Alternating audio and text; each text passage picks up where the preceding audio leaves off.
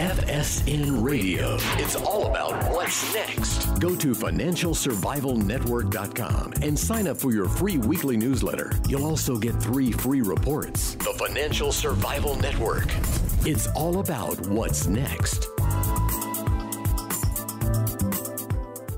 Welcome, and you are listening to the Financial Survival Network. I'm Kerry Lutz, and today is May 12th, 2020. Well, we've got all sorts of things blowing up all over the world. Nobody can even keep track of it anymore. So we'll try to just give you a blow up report of the day for the three most important things blowing up on a particular day. And today we've got our good friend Gary S. Wagner and Gary and I have known each other, God, for years now, Gary. And well, your website uh, is must reading. Just tell us where to find you right now, Gary. Uh, that would be the gold forecast, one word.com. All right, the gold and forecast. It's to, and it's great to be here, by the way. Hey, always. And uh, look, we want your questions. We want to hear what you think about it. What do you think the top three blow ups of the day are today? There's so many, you can't keep track of them, but uh, we want to know your opinion. So email us kl at kerrylutz.com, kl at kerrylutz.com. So, Gary, we got more troubles than Job here in the world. we got the troubles of Job on steroids. I mean, you can't even you can't even make this stuff up. You can't even imagine what the heck is going to blow up next. And, you know, I know you keep uh, meticulous records and charts of what's happening in the world. So just briefly tell us, tell us what's going on.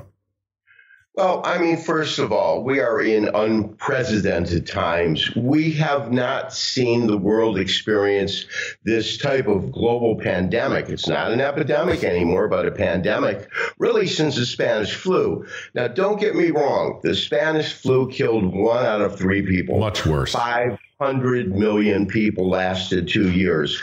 But that was back at a time when they didn't have modern medicine. The fact of the matter is, is that not only is this a occurrence of a pandemic, but there are many who think that the virus itself uh, wasn't formed by nature. And what I'm finding interesting, very interesting, is the fact that it happens to hit different uh, ethnic or demographic groups differently. So, are they? It begs to ask the question is it a virus that targets specific types of genes? And if so, what are the implications of that? That's the first thing. The second thing is the unprecedented uh, actions by the Federal Reserve. I've never heard them say unlimited quantitative easing in the same sentence. And that to me is scary as heck. And then the third thing is, I believe rightfully so in intent, uh, the government came and created some fiscal aid in order to help the little guy. In other words, for the first time, yeah. we heard that they were going to do kind of a bottom up theory rather than a trickle down theory. And so they released what? 620 something billion. No, trillions. Uh, Six, uh, I think the PPP well, the stimulus. Oh, 600 billion on you, PPP, the PPP yeah. program, correct. And throw in the stimulus and the SBA program, and you're looking uh, upwards of over a trillion. What we are looking at is a budget deficit that is never appeared in modern history. We have spent more money trying to combat this, and we have a greater debt than America has ever experienced. And so, my question is the virus will end. At some point, they'll find a vaccine. At some point, it will kind of run its course. At that point, how does the government dig itself out of this tremendously deep financial hole that it has dug? And as I said, don't get me wrong, I think the intent was right. But for example, with the PPP, from what I understand, it's not helping the mom and pop restaurant. It's not helping the little grocery store um, because what they did is they ended up giving it to these large corporations who got through a loophole. Yes. One of the you know one of the loopholes was that you couldn't have more than 500 employees. So Chili's sent in a uh, uh, uh, loan application and said, but wait, we've only got 500 per restaurant. Now, they in fact did return it. But how many other, I won't say fraudulent, but maybe misuse of this aid has occurred oh, and yeah. how much of it's actually gotten to the little guy? Well, AutoNation, they uh, have every car lot incorporated separately. So they put in a hundred different applications and they got 80 million. I don't know if they're giving it back either. It wasn't intended for these large corporations who have exactly. other sources of capital. This is a, effectively, it starts out as a loan, but if you retain employees, it becomes a grant. A grant. And therefore, yes. it's a giveaway. Now, what I will tell you is I had a Facebook group and I kind of became a little mini expert in this stuff and I got my little dose of stimulus too. I will tell you that. And okay. uh, it really did help because a couple of months we just had no revenue, zero between uh, mid February and uh, March, April. We had no revenue and would have had to fire people. So the first batch went to all the cronies and two sets of cronies. The right. big corporations parading as mom and pops. And then you also had larger small businesses that had lending relationships with the too big to fail banks. So what the right. banks did effectively was use this as a backdoor bailout for their loans. So they would give it to people that owed them money, businesses that owed them money first, because the more money they give those companies, the more likely they are to get their loans repaid. They're going to avoid defaults. So all of that took place in step one. But there was some money. I know some people who got PPP money from phase one. After that, nobody expected them to refinance it to replenish the fund, but Congress right, actually right. did. So the second stage, the 310 billion, 300 billion, yeah. yeah, that mostly found its way to the mom and pops. And I believe there's going to be another go round here because look, some businesses will go out of business. There's no doubt. I right. think that number is going to be a lot less than anybody expected for the simple reason that uh, being in small business, you know, I know, I've been in small business my whole life. It's the art of holding on through adversity, you know, maxing out the cards, not paying your withholding tax, whatever it takes to survive, because you know that if the company fails, then you're up the creek then you're going to have to find something else to do.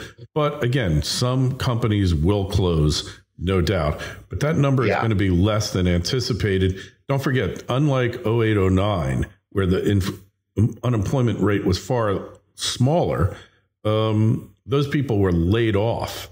You know, we went up 12, 13%. all different ways of measuring it. Who knows?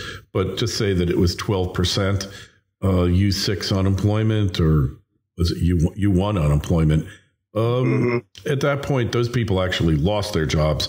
Most of the people who are out of work now have been furloughed to be rehired back, at least a significant portion of them. But we are going to have massive bankruptcies. Neiman Marcus, J.C. Penney, the retail apocalypse continues. But that was a trend that was going on before this. It's just going exactly. to be exacerbated. So you've got some uh, charts. We're going to load these charts into the video and we'll have them up on the audio as a bonus. But just tell us what the charts are telling you. Well, before I go into the charts, there's one other thing that I, I, I, do want to raise. As far as the PPP loans go, I did get a nice letter from my bank mm-hmm. that said, Thank you very much for applying for your loan. It is in process. However, we have been so overwhelmed, it's highly unlikely that we'll be able to process it. Mm-hmm. What scares what scares me the most right now is that we had a day yesterday where or Friday where the jobs report came out. The estimate was 22 million. And the unemployment estimate, I believe, was between 15 and 16 percent. Extremely dismal numbers. I think all of us would agree that in any other circumstance, this would be something dire. But yet, when those numbers came out because they forecast 22 million and it, and it came in at 20 million gold tanked it went down $20 the other thing with the unemployment rate is there are those out there that are saying it is 16 to 17 percent and it will go to 20 and this is what scares me during the great depression the unemployment rate was 24.9 if we're at 20 percent then we're very, very close to that kind of catastrophic um, scenario. Oh, yeah. Agreed. You know? Agreed. And, you know, the states are taking the hit. The states are insolvent. A lot of uh, a lot of issues. I don't disagree with it, and I think the deficit, all the money sloshing around here, will uh, probably make the stock market go up in the long run, and maybe make this thing less long lived than it would have been. But this is a case of both the cure to the uh, pandemic of lockdown and the mm-hmm. cure to the to the damage that the lockdown did unlimited fed liquidity both right. cures are going to be far worse than the underlying diseases that they were designed to uh, thwart or bring under control and we'll be living with the results of this for uh, decades, no doubt. FSN Radio. It's all about what's next. Aurcana Corporation is on the verge of bringing the world's highest grade silver mine into production. The Revenue Virginius mine in Colorado has proven improbable silver reserves grading nearly 37 ounces per ton silver, with an all in sustaining production cost of only US $8 per ounce of silver. The mine is fully permitted with infrastructure already in place, and the company has announced they plan to commence production in 2020. Achieving successful production usually results in a significant upward share price re rating on the Lassonde curve. Aurcana trades under the ticker AUN in Toronto and AUNFF in New York. To learn more, go to aurcana.com. That's A U R C A N A.com. The Financial Survival Network. It's all about what's next. Absolutely, no doubt. Now, in terms of the technical studies that I've, I've brought for our viewers today, there's two main ones that I want to focus on. The first one that I will send you takes a look uh, at a very, very long term historical data set. And what it does is it marks when QE1 started, QE2, QE3, which was what they called that twist. It wasn't really right, a Operation QE anymore. Twist. Yeah. Uh, and then when they tapered. And what we can see from that, obviously, is that when they implemented uh, QE1, we had gold sitting at around seven, eight hundred dollars. It shot up. Equity shot up. It's the only perceivable set of circumstances where you have equities and gold running in tandem to the upside. And so what you'll also see is there's a point mid 2011 when gold topped at 1920, but the stock market kept on going. That's unusual. And the chart that I'm going to send also will show you when we started QE infinity. And so my question is, will we see the same type of reaction from market sentiment and market participants as the Fed begins to flood America with money because the dollar's been strong and it's been strong in light of them defacing the value of the currency. Um, of course, the Fed doesn't print money, the Treasury does, but the Fed is the one that implements it by creating this huge asset sheet, which, by the way, has swelled now what to uh, an additional $3 trillion. Yeah. And so we've got this tremendous debt that your son and my sons and their kids will be burdened with 20 years down the road. And so that chart will illustrate the kind of effect it has, but whether or not it's a lasting effect. Yeah. The second the second chart that we're going to look at is a simple uh, daily chart which shows what gold has done, let's say, for the last couple of months. And what we have seen is really the market trading sideways. And it's trading within a not a narrow range, but a defined range.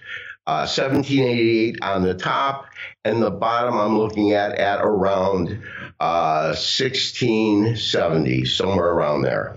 Mm-hmm. And so those are the two things we really want to focus on because, in my opinion, gold should be higher than it is. Yeah, no doubt. And that's it's been the story of our lives for almost the past decade, Gary. And, yeah, you know, uh, but uh, but the fact is, for whatever reason, because they sterilized the money last time, put it in the uh, excess uh, reserves on deposit with the Fed, and got it up to a couple trillion. So and then paid out bonuses. Effectively, the people never got it, but this time they are getting hundreds of billions. The big guys are still getting bailed out. But I think the lesson that the Congress learned from the last bailout is if you don't take care of Main Street, they're going to vote your asses out of office. They don't vote. They're not going to vote for you. And that's absolutely correct. Right. I think that they took a different approach but they came up with the, almost the same result. In that it will be interesting to see when the numbers come out what percentage of these bailout funds went to large corporations mm-hmm. and which ones went to the ones that really needed it the single owner restaurants, the mom and pop grocery stores these are the people that are going to go bankrupt. Because if yeah. a big company goes bankrupt and the stockholders lose a little bit of money, it's the employees I feel sorry for, not the cats at the top of the market that maybe don't get their bonus. And last time, what really annoyed me is they funneled out all of this money, and rather than using the money to invest in projects that would put people to work, what did they do? They bought stock back. Exactly. And I came up with uh, Lutz's taxpayer bailout bill of rights. All right? right. I had about right. 10 things on them. But number one is that if you come and you take money from the Fed, top five executives of your company immediately are fired, and all bonuses, 50% of all bonuses paid out in the past three years, are clawed back. Number two is no more stock buybacks. Number three, you're not allowed to lobby any level of government because you're effectively using our money to lobby the federal government. And then there were a number of other things in there that I thought would have gone a long way. Some of them actually found their way into the final bill um, in terms of not allowing share buybacks during the course right, of right, the loan right. and a year after. There was a number of things. So I don't know if I'm the genius that came up with it and uh, congressman took it. What really gets me is I know that uh, Rubio saw my email outraged about uh, about the uh, big companies taking advantage of PPP, and the banks were not supposed to play favorites. It was supposed to be like you're online at the deli counter and you take a number and first come, they don't, first they don't say yeah. the woman in the Bentley, you can uh, go, you're number 100, but you can go in front of number one. But this is exactly what the banks did. And the day after I sent that out, or two days after, Rubio announced that he was starting an investigation of the PPP. It's not going to make any difference. But just so you know what happened, maybe we had a small voice in it. I don't really flatter myself uh, of that having that kind of power. But I think a lot of you out there listening combined, uh, and this thing was spread all over the place. I think uh, they got the message somewhat, which is why they're giving us money as well. And yeah, we're not Boeing, but uh, the money means more to us than it does to Boeing. And uh, if you've gotten a letter like you got, Gary, from your bank, go to a smaller bank, go to a credit union, or go to a community bank because they have been much more equitable in dispersing those funds. And you can use online portals as well. For instance, PayPal is making PPP loans, and so is this company Kabbage, K A B B A G E. And you mm-hmm. can put in multiple applications because the first one to hit the SBA is the one that gets approved, and the others will get ignored, and you'll be fine. So, and there will be a part three I think eventually close to half to two thirds of the businesses that need the funds will eventually get it, but there's going to be people that don't get it because the big guys got it ahead of them. That's just life, the sure. way it works. So, so what else you got for us here? Well, it's it's what's going to happen in terms of what I tried to call her, and it, I did not uh, coin this, but the new normal. Because at some point, whether it's a vaccine or whether it's social distancing. What I want to know is what happens in stage two. The coronavirus has pretty much subsided. Now we're dealing with an extreme amount of debt. Uh, bankruptcies, of course, will go through the roof for these little companies and individuals. Is there any way? Yeah, these yeah individual uh, LLCs or sole proprietorships. Yeah, sure. And how do we plan to take the largest budget deficit in history and alleviate that? The other thing that I'm concerned about is where is the real unemployment rate going to go? Uh, there are those out there, including Janet Yellen, who believe it should hit about 20%. And that's an astronomical number. Now, back in the days of FDR, he, well, I'm not so happy he took all the gold from the people, but it allowed him to fill the coffers. Yes. And devaluation. put men to work. They built the Hoover Dam, they did infrastructure. What we need is to put our men back to work. And how are we going to do that? Because yeah. we are in a technological society in which the demand for hardcore labor has diminished greatly. We've got all kinds of machines that do the work that men used to. So that's part of the new America. The second part is when will the public as a whole believe it's safe to go to a movie theater? To go to a sporting event. I can help you to with that. go to a restaurant. I can help you with that. All right. now, I'm not necessarily representative here.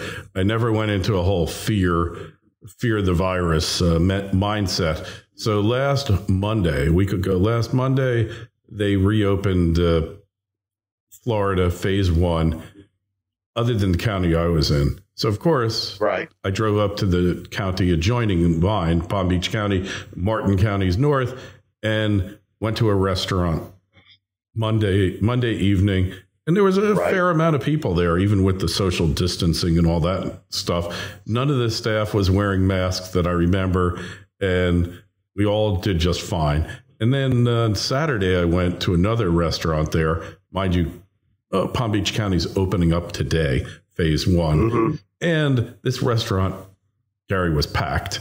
And really? they they honored social distancing in to the uh, letter, but definitely not the spirit. The place was packed. Nobody's wearing a mask. The help wasn't. Nobody. And people, like what's happening is people are fed up. They're tired of being uh, under house arrest, and they're just going out there. And I believe because um, look, Hawaii, where you are, barely got hit by this. It didn't warrant a shutdown. We were unscathed. We were definitely yeah. unscathed. You should have never had a shutdown. Florida, you could make an argument needed some type of uh, of measures, but not a shutdown. Florida, you know, 22 million people, uh, 1,500 deaths, 1,600 deaths. I mean, statistically it's it's not meaningful but in terms of the damage it's done to people's lives it's very meaningful. But Absolutely. did it warrant a shutdown? I would argue not. And the fact is that uh, right now i give florida two weeks. It'll be as if we never had that thing. And as you know from uh, from viral uh, virology uh, these types of uh, viruses go dormant in hot weather and they die off. And they might come back in the fall, they might not. Right, but right. we know a lot more about treating it now. My guess is Okay, I've already made my uh, plane reservations for my birthday yes, in July. I'm off to Vegas, and then I'm going to Vancouver. Then I'm going to Alaska. And oh, you're uh, not doing Hawaii, huh? Yeah, well, not this time. Maybe in okay, winter. Okay. Maybe next time. But I can't believe that I'm unique. Although I do see a lot of empty seats on the planes, and I pick my seat wherever I want, and great deals, great travel deals. So this thing is going to come back faster than anybody imagines. But that doesn't mean that the pandemic, the financial pandemic, is over. That's going to go for years and years. And I don't think we're at risk of an imminent collapse globally. I think we had the collapse, but I think we come back from this. Where we are, I don't know. I'm not trying to hazard a guess. My feeling is that people crave normalcy and will do everything in their power to make their lives normal again. And if that's if and if that's running up your credit cards uh, to uh, so high regions, then that's what they're going to do to get away.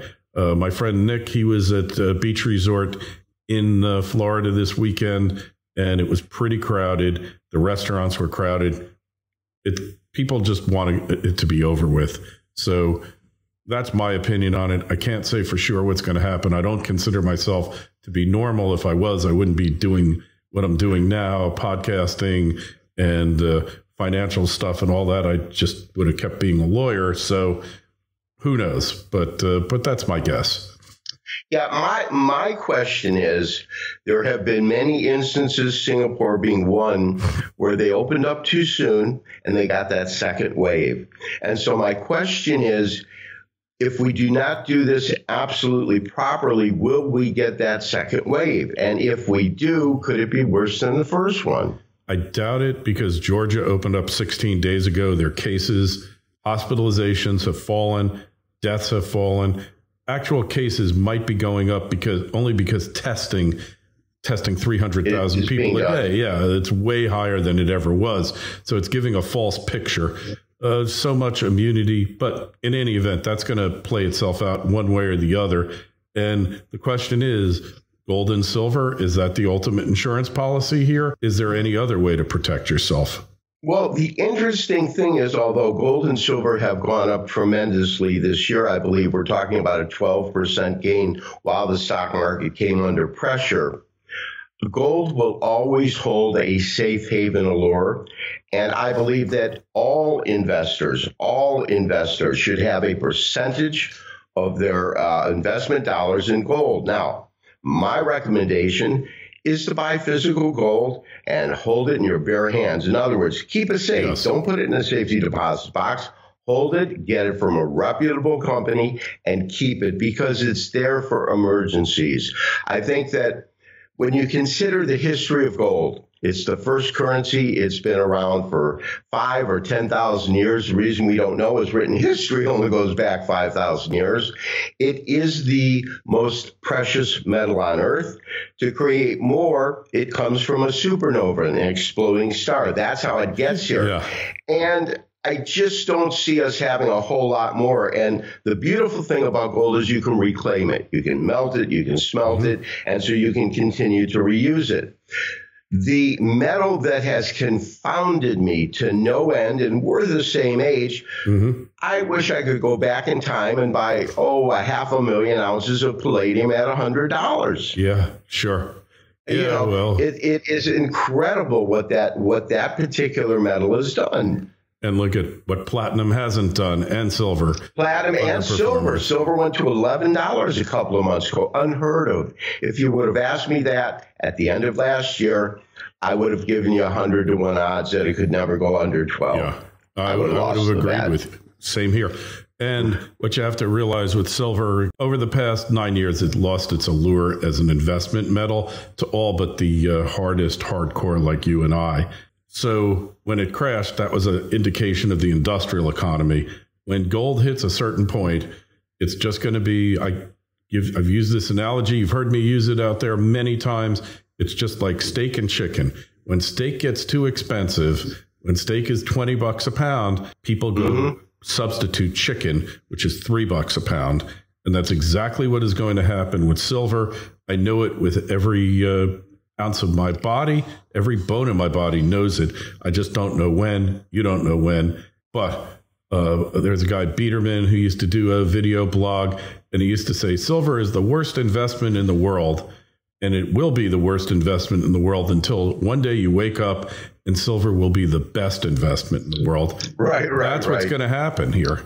And I give him credit well, for it you have to put silver uh, not in terms of worth but in utilization uh, to steel or copper. It's so highly industrially industrially used. Now what i find most interesting about silver is it it's it's kind of like the girl that wants to move both ways. Sometimes it's a safe haven. Yeah sometimes it's an industrial and it used to be that when gold ran higher, silver always ran higher. We're seeing a basic disconnect between those two metals. They don't tend to run in tandem. Yeah. And so we know that there is something going on, but there will always be a use for silver as an industrial right. metal. Yeah, couldn't agree more. And And uh, silver tends to lag gold. And uh, when gold hits certain points, and then silver is like the jack in the box. The pressure was there, pops out. Anyway, Gary, we got to run now, but we're going to have the slides attached to the podcast so you'll be able to download them. Really appreciate you coming on thegoldforecast.com. Make sure you go there, sign up now. And uh, don't forget, go to our site, financialsurvivalnetwork.com, sign up for the free newsletter and our Twitter feeds at Kerry Lutz, Facebook page, Financial Survival Network. And we will talk to you real soon, Gary. Thank you very much. And I do have one more comment sure. before we Please. cut off. It'll be a very quick one. I told Absolutely. you about the two charts I'm going to send. I am going to send a third chart. And that third chart is using uh, Elliott wave and Fibonacci extensions to project my call for where I think gold will end up by the end of the year. Kind of a surprise for everyone. Oh, I like that. I can't wait to see it. That's, that's why you throw it in yeah, at the end. Absolutely. Save the best for last. Why don't you? So, anyway, absolutely. make sure you check out Gary's site, goldforecast.com. And, Gary, we will talk to you again real soon. You got it, everyone. Stay healthy, stay happy. FSN Radio. It's all about what's next. Go to financialsurvivalnetwork.com and sign up for your free weekly newsletter. You'll also get three free reports. The Financial Survival Network. It's all about what's next.